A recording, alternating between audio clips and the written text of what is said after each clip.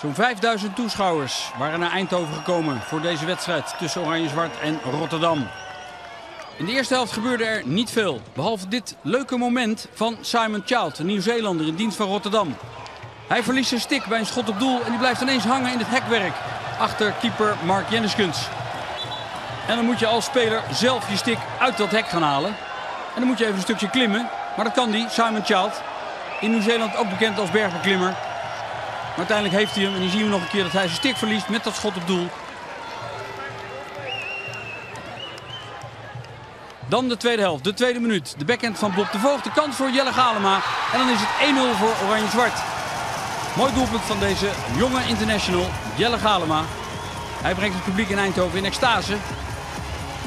Dankzij deze treffer. Firmin Blaak in het doel van Rotterdam is geklopt. Strafcorner voor Rotterdam. Maar die wordt niet goed gestopt. En uiteindelijk is het Robert van der Horst die de counter inleidt van Oranje-Zwart. Ziet in zijn ooghoek de Thomas Briels vrijstaan. Paast de bal op Briels en die passeert Pirmin Blaak in de korte hoek. En dan is het 2-0 voor Oranje-Zwart. Vreugde bij Thomas Briels en zijn elftal. Maar pijn bij Robert van der Horst na die botsing met Olivier Polkamp. Hier scoort Thomas Briels, de Belgische international, in de korte hoek de 2-0. Maar ziet ondertussen ook dat Robert van der Horst met een pijnlijke schouder het veld gaat verlaten. En in deze onopzettelijke botsing van Oliver Polkamp zien de scheidsrechters een gele kaart voor Polkamp. Die moet er 10 minuten af. Hier gaat uh, Robert van der Horst naar de kleedkamer. Hij zal in de finale van de play-offs niet meer op het veld komen. En terwijl Rotterdam met de man minder moet door die straf van Polkamp. En Oranje-Zwart natuurlijk van der Horst mist, wordt Rotterdam sterker in die slotfase van de tweede helft. Hier een opzettelijke overtreding van Marcel Balkenstein. En dat levert Rotterdam een strafcorner op.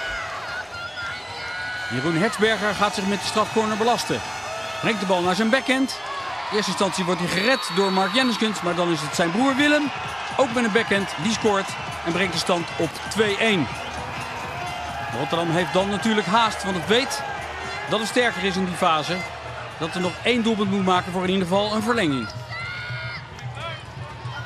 Drie minuten voor tijd krijgt Rotterdam weer een strafcorner. Weer is het Jeroen Hetsberger met een push. Maar zijn bal wordt gestopt op de lijn met de voeten door de Pakistan Rashid. Reinhard Wolf, de coach van Rotterdam, weet het. Want dit is een strafbal. De kans natuurlijk op de 2-2.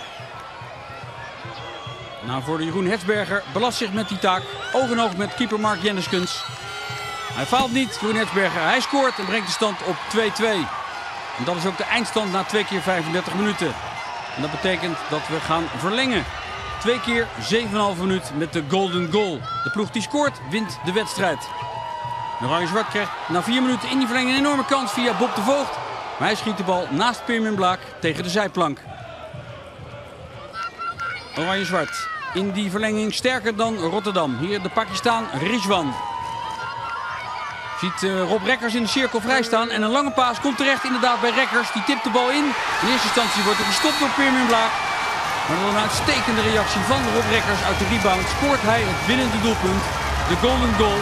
En dat betekent dat Oranje-Zwart deze tweede finale wedstrijd wint met 3-2 van Rotterdam. En dat betekent dat komende zondag in Eindhoven de derde en beslissende wedstrijd gespeeld gaat worden. Vreugde bij coach Michel van de Heuvel en de spelers van Oranje-Zwart. Maar die weten dat ze het zondag zonder Robert van der Horst moeten doen. Ja, ik, ik hoorde alles krakken.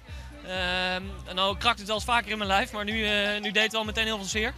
Ik weet begon niet wat er precies gebeurde, uh, maar het, ja, het doet gewoon ontzettend veel zeer en ik moest er gewoon af.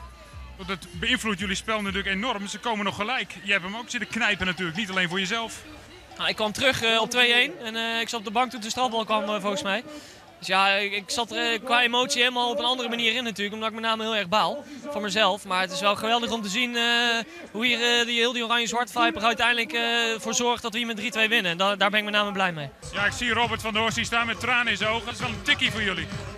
Nou, ik, ik, denk dat we dit jaar al meerdere tikjes gehad hebben. Ik geloof dat Mink van der Weer hier ook uh, met tranen in zijn ogen langs de kant zit.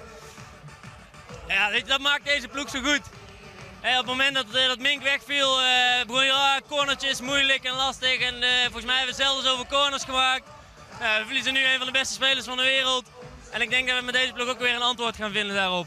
Heb je erg veel pijn nu? Of, Ja. Want je wil nu het liefst de snelste weg. Ja, ik moet ook naar de groep toe, dus eh, heel graag. Dankjewel. Ter waarde van